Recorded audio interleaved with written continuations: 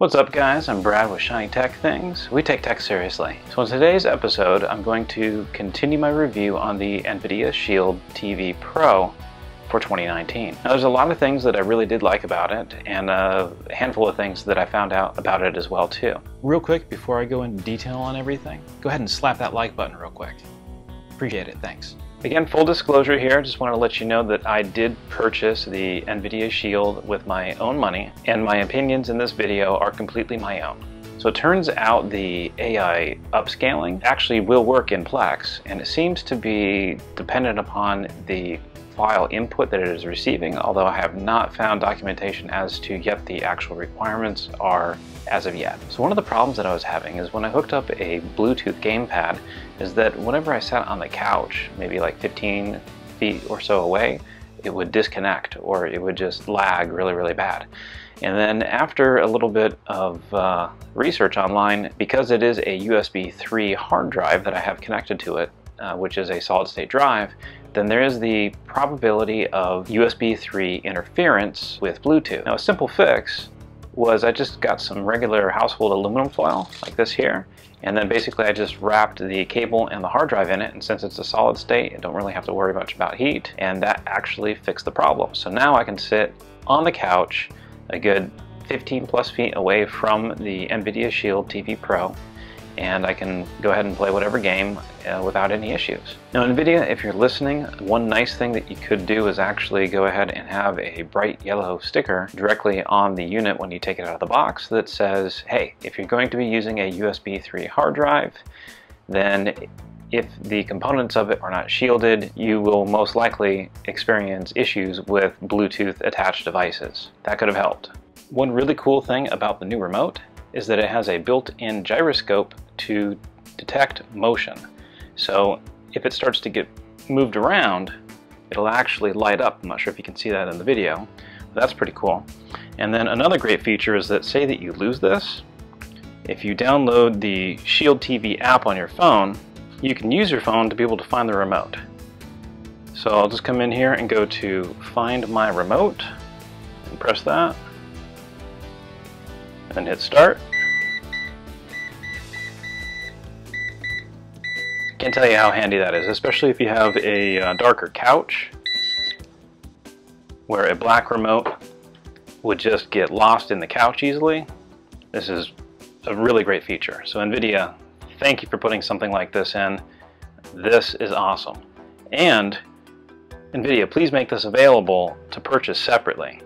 Now when comparing the Shield TV to other devices, another one that comes to mind is the Fire TV line.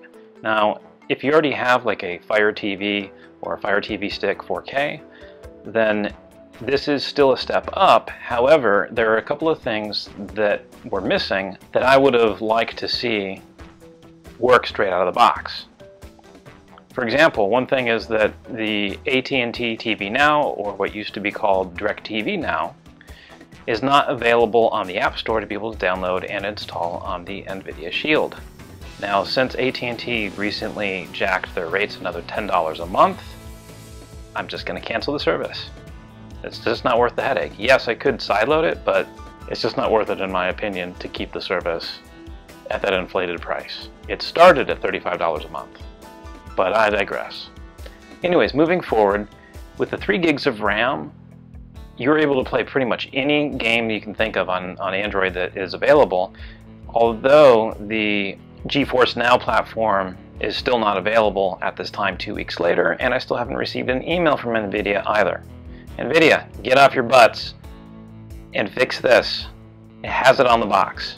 Now to conclude, I think that NVIDIA probably released this a little too soon, especially with the GeForce Now gaming service still not available at launch. If it were me, I wouldn't have put that information on the box, but whatever. Here are some reasons that you would want to upgrade to the latest NVIDIA Shield. If you want the fastest, most powerful device that's out there, it's a great device. Now if you're looking for something that is a bit more refined, there's a lot of other devices out there, but NVIDIA will hopefully get the GeForce Now platform out of beta or approve people in a timely fashion to be able to use the service. I don't mind paying extra for the service, just let me be able to play it. Don't advertise that you have all these games that you can play on a device when the device doesn't have access to play the games. If you're going to use this just for a streaming box, it's way overkill. And there are a lot of other options out there that cost a fraction of the price. For example, the Amazon Fire TV Stick 4K. That, for the price, offers the best bang for the buck, in my opinion. Amazon, if you're watching and you want to get people that are just heavy streamers, copy this remote. Copy the functionality to be able to find it. Heck, make a remote that is glow in the dark. That would be freaking awesome. NVIDIA, you can do better. Can you use the NVIDIA Shield as a Plex server? Yes. Should you? That's kind of a complex answer to that question. Now, the reason why it's a complicated answer is because it depends on what format the media is in and what devices are going to be consuming that media.